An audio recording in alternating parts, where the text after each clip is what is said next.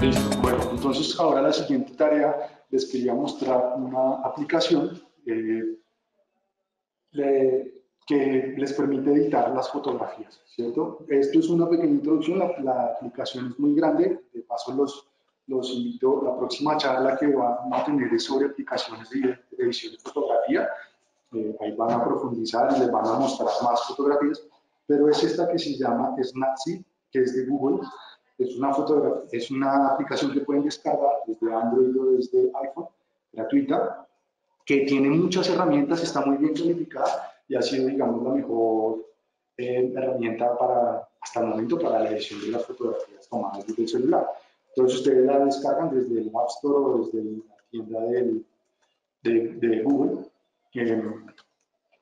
y este, este, digamos, es el escenario que les presento abrir una fotografía o este más que le da a uno la posibilidad de traer las fotografías del carrete, digamos, que tiene la cámara.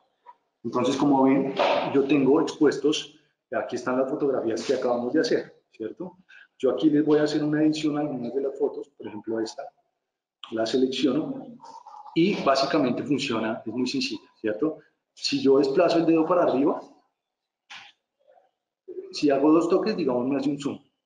Eh, tienen abajo, perdón, estilos, herramientas y exportar. Entonces nosotros nos vamos a ir a herramientas y aquí les va a presentar todas las características que tiene esta herramienta. Es enorme, eh, por eso digo que es una pequeña introducción, pero les, los invito a que, la, a que la exploren. Bueno, hay infinidad de herramientas, entonces esta me pareció muy fácil de usar y muy chévere los resultados.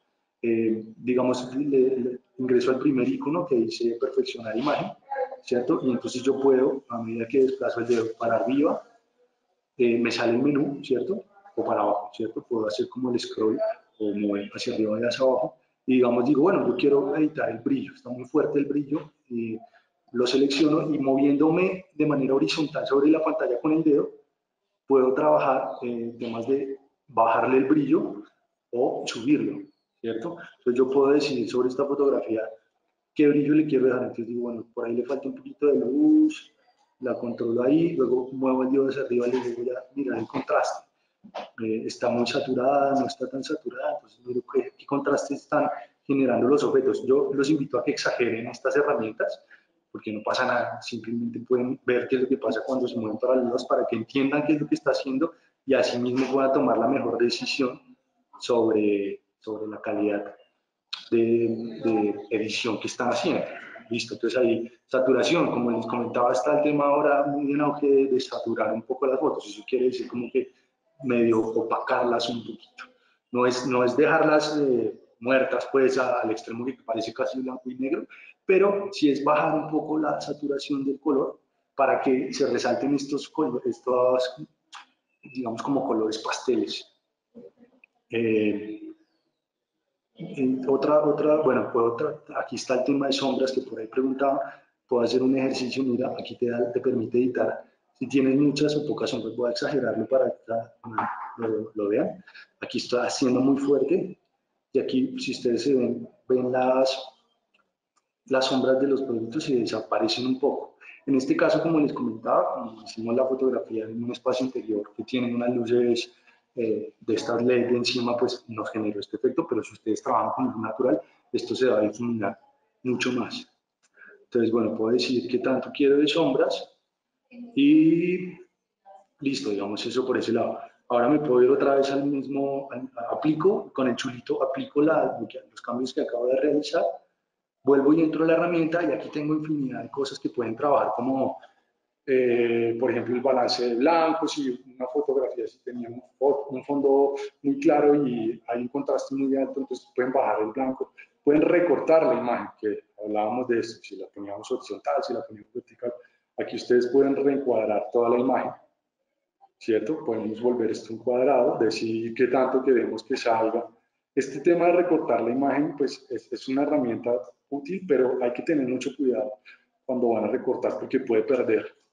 En vez de ganar, pueden embarrarla si, si, no, si no, digamos, si no hacen un trabajo como de composición. Si yo, yo recorto acá, siento que ahí pierde un poco la fotografía de información. Lo mejor es como hacer los ejercicios de recorte, pero muy juiciosamente. Eh, este arriba, en la parte superior derecha, hay una, como dos hojitas con una flechita para atrás, eso significa que deshacer el paso que acabo de realizar. Si hice algo que no me gustó, lo puedo trabajar ahí.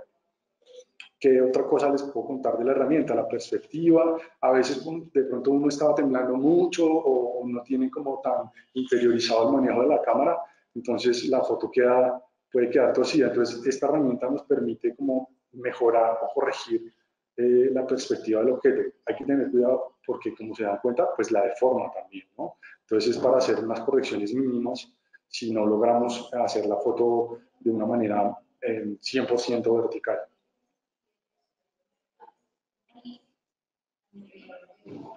Eh, bueno, miren, por ejemplo, esto, esto mejora, así como un, tema de resplandor, ¿sí? Sobre el objeto, como que lo, esto es como si tuviera un desenfoque. Ahí, bueno, tienen miles de herramientas que pueden revisar acá para trabajar, muy chéveres, el contraste tonal, los que preguntaban acerca del, de los tonos de, de, RGB. Entonces, mira, yo siempre el ejercicio es hacia arriba y hacia abajo, me muestro las herramientas y hacia los lados aplico esa herramienta que seleccione. Entonces, digamos aquí, los que preguntaban sobre el RGB, entonces yo puedo decir tonos altos, entonces quiero disminuir o aumentar los tonos.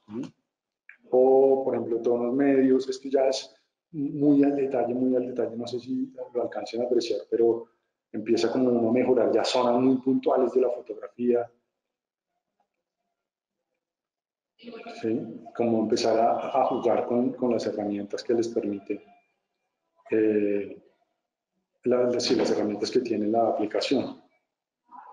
Y bueno, digamos que creo que pueden, la invitación es un poco que sigan eh, explorando desde ahí. Esta otra herramienta lo que tiene muy chévere es que yo puedo decidir inmediatamente eh, compartirla, ¿sí? que es lo que pues, en últimas nos da la inmediatez eh, yo puedo tomar la fotografía de, de, mi anillo o saqué mi producto al exterior y puedo trabajar con eso, entonces voy a hacer la foto para, para Instagram y decido publicarla, la selecciono y acá me, me da en exportar. Yo tengo la opción de compartirla directamente. Él genera todas las capas que he hecho y la puedo compartir por WhatsApp, la puedo compartir en Instagram, la puedo poner en Facebook, ya ustedes deciden cuál es la red. Hay una una recomendación que les quería dar por último y es eh, cuando ustedes comparten imágenes eh, a través de WhatsApp, WhatsApp es una herramienta que les permite, por ejemplo, si ustedes son de los que venden a través de WhatsApp, muchas veces uno envía fotografías del producto, ¿cierto? O si ustedes quieren compartir catálogos del producto para, para que los muestren en otro lugar en donde ustedes no pueden estar, un tema de buenas prácticas con WhatsApp es que WhatsApp es una herramienta que le baja la calidad a las fotografías tremendamente. Entonces, eh, pues si, si, la intención es simplemente compartir una foto para que un, posible cliente la vea, no hay ningún problema, pero si ustedes por ahí quieren enviar una selección de fotografías que tienen a alguien que va a utilizarlas para exponerlas en un lugar o para mostrarlas, es mejor de otra manera vía correo electrónico o con el, con el Drive que pues aprovecho y les digo, los que no estuvieron en la charla de, de, herramientas de Google, les permite compartir esos, esas imágenes sin perder la calidad.